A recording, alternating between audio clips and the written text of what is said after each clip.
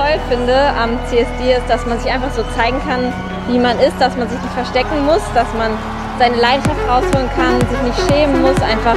sein kann, wie man ist und auch einfach verrückt auftreten kann und man, man weiß, dass man nicht verurteilt wird, sondern man hat viele Menschen, die einen dafür bewundern, dass man zeigt, was man fühlt und einfach zu zeigen.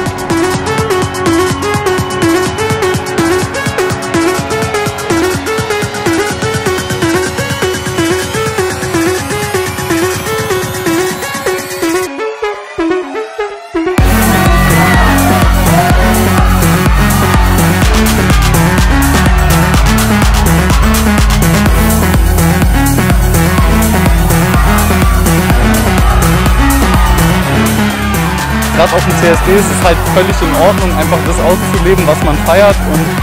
so rumzulaufen, wie man feiert. Und deswegen äh, finde ich diese ganze Veranstaltung wahnsinnig wichtig und wahnsinnig gut, muss ich sagen.